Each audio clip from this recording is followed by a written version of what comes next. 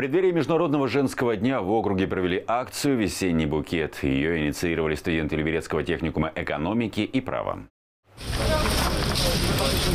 Здравствуйте. Хочем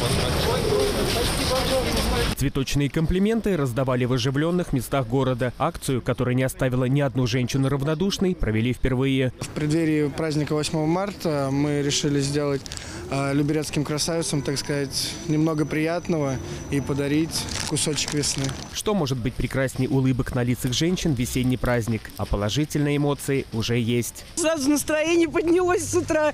Спасибо большое, ребят. Очень прекрасное настроение, очень. Мне первый раз так в жизни. Весенняя акция от студентов техникума экономики и права теперь станет ежегодной. Богдан Колесников, Сергей Гвоздев, телеканал ЛРТ.